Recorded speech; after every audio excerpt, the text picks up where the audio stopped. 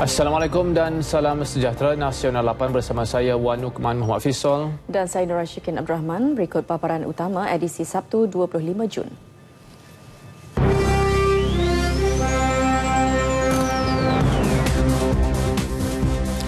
Serpihan pesawat ditemukan di Tanzania. Brexit peluang Malaysia perluas pelaburan dengan Britain.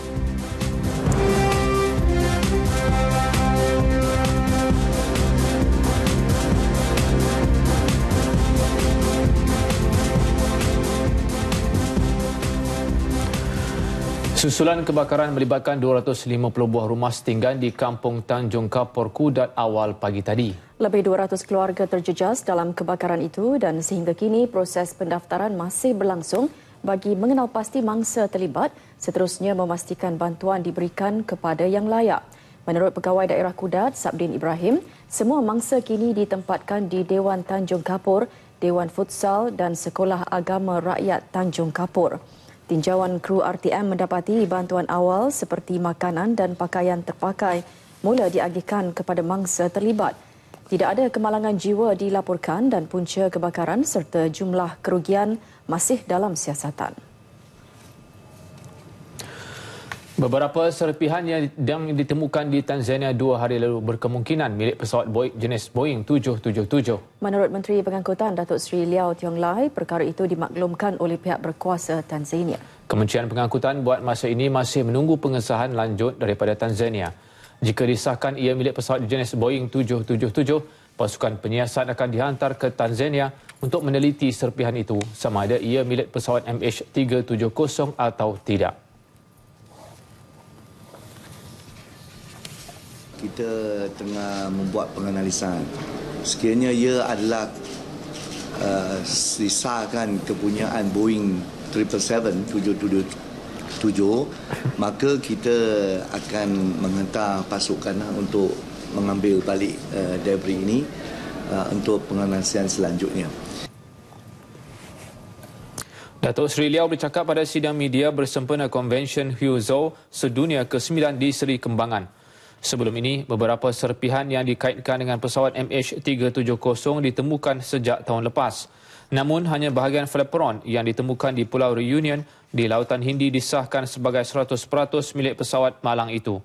Sementara itu, Datuk Seri Liao turut mengesahkan barangan peribadi yang ditemukan terdampar di pantai Madagaskar baru-baru ini bukan milik penumpang pesawat MH370. Pengesahan dibuat oleh negara yang menjumpai barangan berkenaan selepas menjalankan beberapa proses analisis. Jabatan Kasta memperketat penguatkuasaan cegah penyeludupan khususnya mercun dan bunga api menjelang perayaan. Jelas Ketua Pengarahnya Datuk Seri Khazali Ahmad, pemeriksaan telah digerakkan sejak dua bulan lalu bagi membantras kegiatan berkenaan termasuk penjualan mercun dalam talian. Kita mengesal mereka-mereka yang uh, mendakwa bukan sakat saja mercun tapi online business ni kadang-kadang dia wawarkan kata custom jual kenderaan uh, dan sebagainya. Ini pun kita pantau. Uh, mereka-mereka ini kita akan hubungi uh, tapi biasanya mereka ni bila kita hubungi tak boleh dapat pun. Kalau katakan kita cuba nak mendekati mereka ni mereka adalah modus-modus operandi yang mereka tahu siapa yang menghubungi dan uh, yang saya sebutkan tadi online business ni bukan hanya kita hadkan kepada penjualan mercun atau bahan-bahan bunga api sebagainya. Tetapi juga saya nak mengingatkan di sini bahawa jangan uh, masyarakat tertipu dengan uh, iklan-iklan yang mengatakan bahawa custom menjual telefon lelong custom menjual kereta-kereta lelong. Ini semua tak betul. Sebab di dalam sistem kita sekarang ini penjualan kenderaan-kenderaan lucu hak Jabatan Kastam adalah melalui tender terbuka. Sejak Januari lalu, kira-kira 113,000 kg mercun dan bahan-bahan letupan tanpa permit berjaya dirampas dengan nilai cukai dianggarkan 4 juta ringgit. Mercun dan bunga api yang dirampas akan dimusnahkan. Datuk Seri Kazali menyatakannya selepas menyampaikan hadiah jom minta resit GST bagi cabutan bulan April-Mei di Terminal Berspadu Selatan Kuala Lumpur. Seorang pelajar tingkatan lima Sekolah Menengah Kebangsaan Belimbing, Tanah Merah, Kelantan menjadi mangsa pertama mercun di negeri itu apabila tiga jari kanannya hancur selepas terkena mercun bola semalam. Ibu mangsa Engku Azna Engku Ismail memberitahu Nik Rashidi Azman dipercayai bermain mercun bersama adiknya di rumah jiran. Mangsa kemudian dikejarkan ke Hospital Tanah Mangsa Merah sebelum dirujuk ke Hospital Raja Perempuan Zainab II, Kota Baru untuk rawatan lanjut. Dua Kota Baru untuk rawatan lanjut. Ya, okay, dia kata kalau tak itu kan akan potong lah. Hmm. Ha, ya potong sikit ni atas jari ni, dia nak, nak jahit-jahit tu sikit. Pada mulanya beliau tidak mempercayai insiden yang menimpa anaknya selepas diberitahu oleh adik Nick Rashidi. Namun selepas mendapat panggilan telefon beliau terus bergegas ke hospital.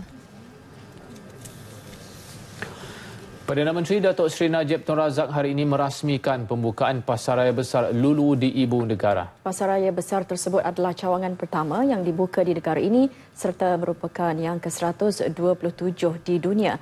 Pasaraya besar tersebut adalah milik kumpulan Lulu, sebuah syarikat berpangkalan di Emiria Arab Bersatu UAE.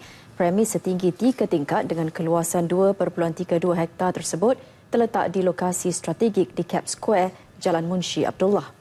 Ia menawarkan barangan runcit, pakaian, keperluan rumah, peralatan elektrik, gadget dan makanan. Terdahulu dalam ucapan perasmiannya, Datuk Seri Najib menjelaskan Malaysia mengalu-alukan pembukaan pasaraya besar Lulu yang juga akan dapat membantu menyumbang kepada kejayaan negara ini dan turut menyumbang kepada kejayaan berterusan pasar besar tersebut. Pembukaan pasaraya besar Lulu di negara ini juga merupakan tanda keyakinan masyarakat antarabangsa terhadap Malaysia. Political and economic stability. Investor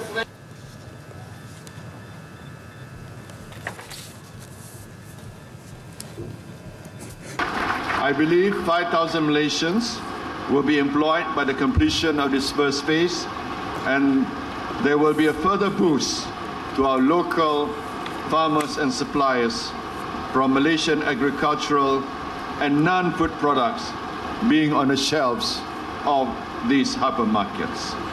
This is a reflection both of how foreign companies are confident and comfortable in Malaysia as the perfect investment destination in this region and of the real and tangible advantages such investment brings to our people. Ia dijangka melabur sebanyak 1.3 bilion ringgit untuk meluaskan perniagaan dan merancang membuka 10 cawangannya dalam tempoh 5 tahun di seluruh negara.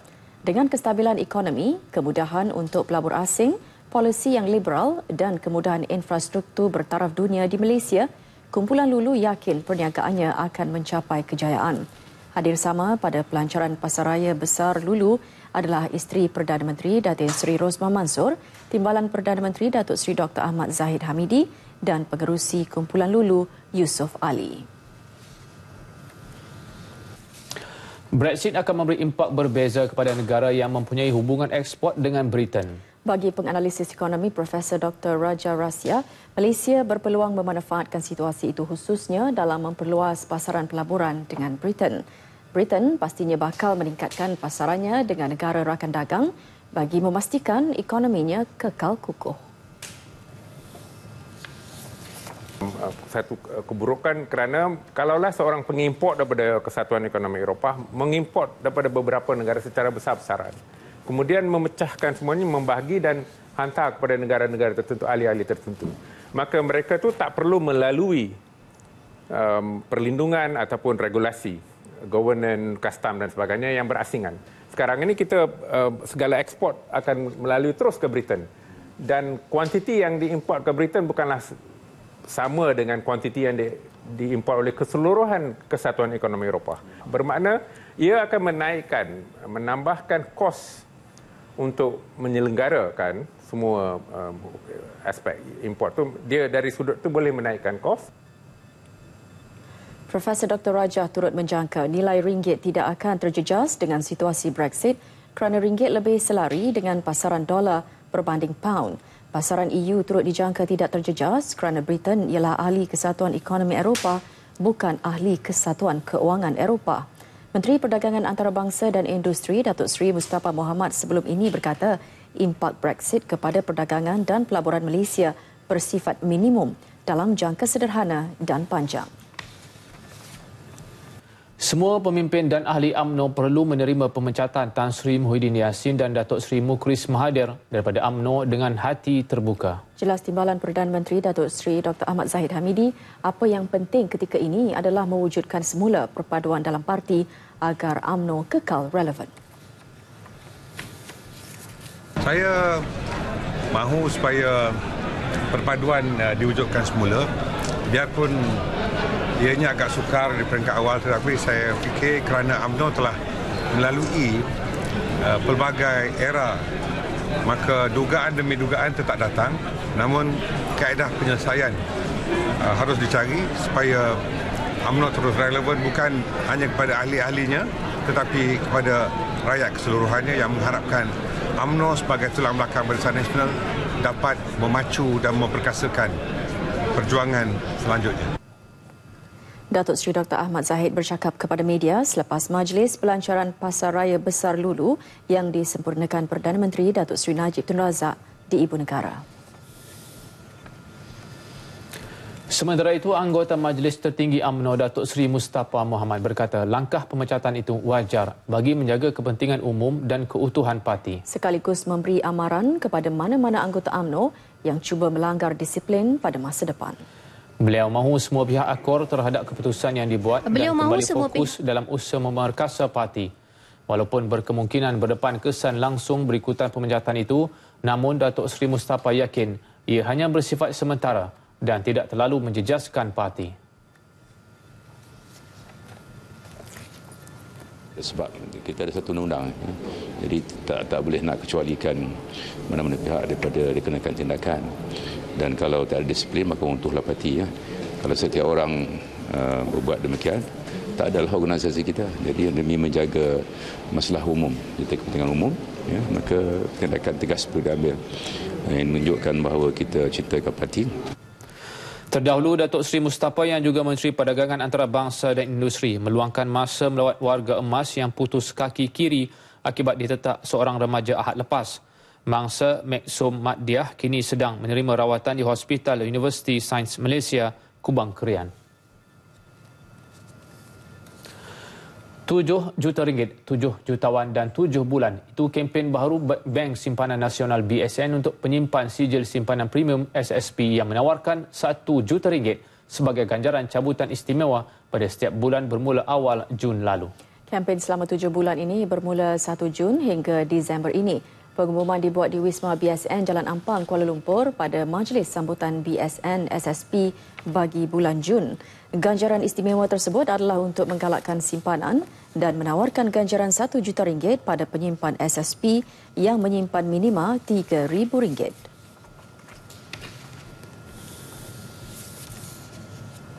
Jadi kalau dulunya uh, cabutan satu juta tu cuma sekali setahun bulan Disember tetapi uh, oleh, oleh kerana uh, kita nampak ramai yang uh, berminat dengan SSP ni jadi kita uh, ingin uh, um, menawarkan ganjaran yang lebih menarik untuk penyimpan-penyimpan SSP jadi diteruskanlah cabutan satu juta itu untuk setiap bulan.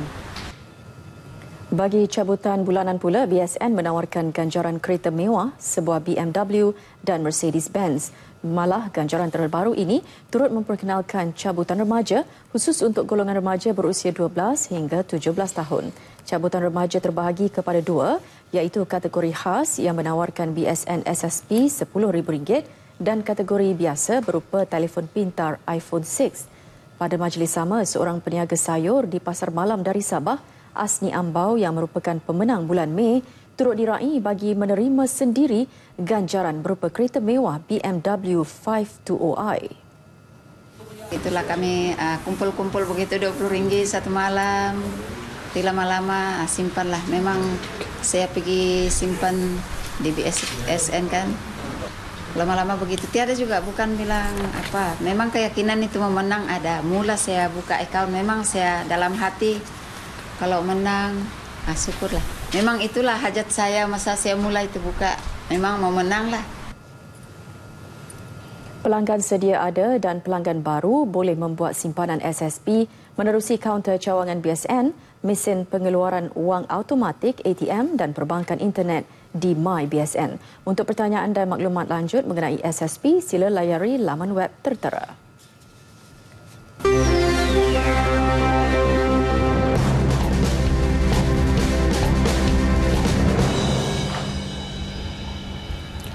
Menjelang Temasya Sukan C 2017 di Kuala Lumpur tahun depan.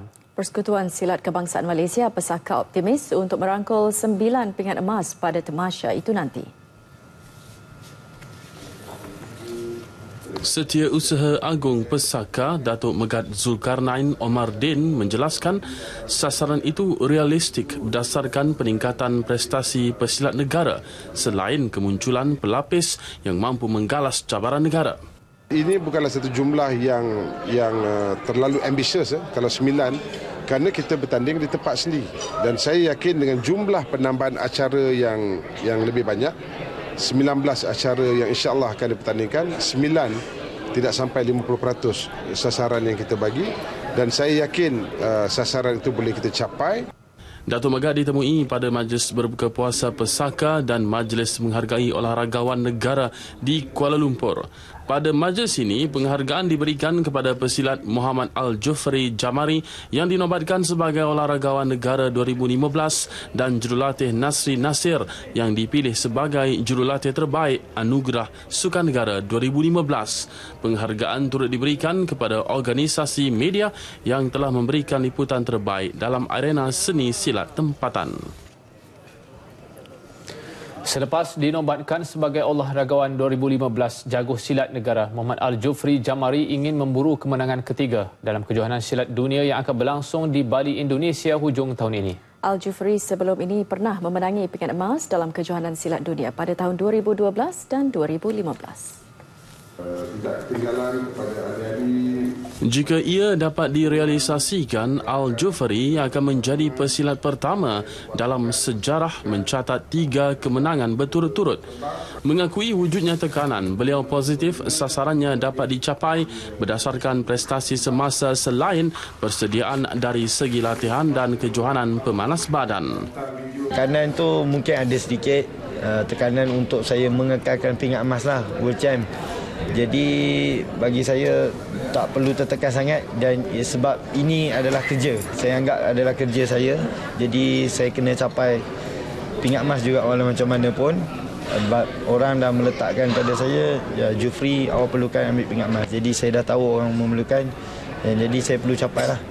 Selain kejohanan dunia, pesilat yang bertanding di bawah kategori E Putra 65 hingga 70 kg ini turut mensasarkan pingat emas dalam Sukan C Kuala Lumpur 2017 dan Sukan Asia 2018 di Indonesia. Pemain T-Team FC diingatkan supaya belajar mengawal emosi dan tingkatkan kecergasan di atas padang. Ketua jurulatihnya Raj Darmawan memberitahu dua aspek itu amat penting andai The Titans mahu terus bersaing merebut tempat terbaik dalam Liga Super. Kelemahan itu dikenal pasti selepas mengharungi tiga perlawanan ujian bulan ini dengan dua kemenangan dan tewas kepada Sabah malam tadi. Jelas Rachmat, kekalahan kepada pasukan Liga Perdana Sabah. Dua gol berbalas lima pada aksi di Stadium Sultan Ismail Nasiruddin Shah Kuala Terengganu ini. Memberi pengalaman berguna kepada anak buahnya untuk memperbaiki tahap permainan dan keyakinan untuk perlawanan seterusnya. Uh, dan uh, saya pikir ini satu situasi yang mungkin kita butuhkan untuk tim ini kalah walaupun saya tak nak kalah ya tapi okey kita harus uh, kembali boleh wake up lagi dari kondisi ini untuk fokus ke uh, preparation lagi. So, bagi Ketua Jurulatih Sabah, Johnny Dominicius, perlawanan persahabatan kedua ini selepas bertemu Terengganu FA selasa lepas turut menguji beberapa pemain baharu yang bakal diikat sang badak. Ini termasuk menurunkan penyerang import mereka, Everton Souza Santos yang baru menandatangani kontrak dan mempamerkan hasil cemerlang untuk membantu meraih kemenangan. Walaupun kita menang malam ini, prestasi nampak meningkat. Tapi banyak lagi kelemahan-kelemahan yang harus kita perbaiki lah. Terutama sekali bermain dengan pasukan tim yang memang tangga keempat daripada Liga Super. Tapi nampaknya macam tim pun tak menurunkan semua pemain kesebelasannya. Kan? Mungkin dia bagi rehat pasal macam Titi pun tak berhenti bermain friendly match kan. Hmm, tapi daripada segi peningkatan memang ada kalau dibandingkan dari sebelumnya.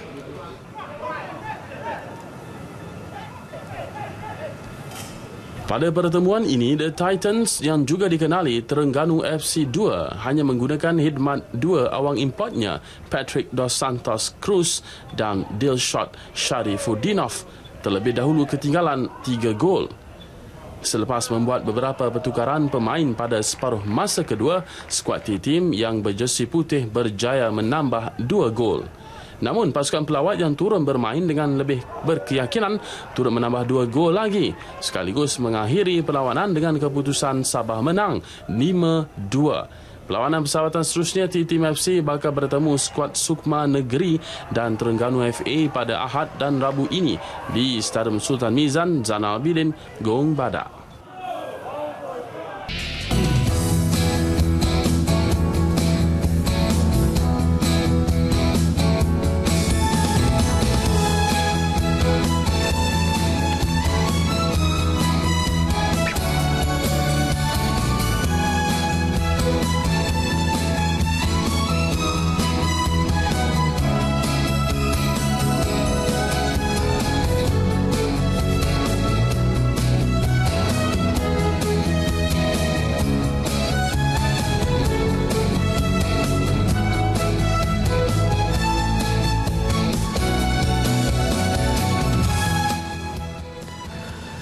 Jenazah pakar motivasi Profesor Madya Muhammad Izzuddin Ali atau Prof. Izzi selamat dikebumikan di Tanah Perkuburan Islam Kampung Pulau Rusa, Kuala Terengganu pukul 9 pagi tadi. Jenazah dikebumikan bersebelahan pusara ibu bapanya Allahyarham Ali Ismail dan Maimun Abdul Rahman serta adik perempuannya Zainun. Suasana pilu menyelubungi tanah perkuburan yang dihadiri hampir 200 ahli keluarga, saudara mara, rakan dan penduduk kampung. Isteri Allahyarham Roziah Syafi'i 48 tahun kelihatan tenang Terdahulu jenazah Allah Yerham dari Kedah tiba di rumah kakak sulungnya Zaleha di Gong Badak pada pukul 4.30 pagi tadi.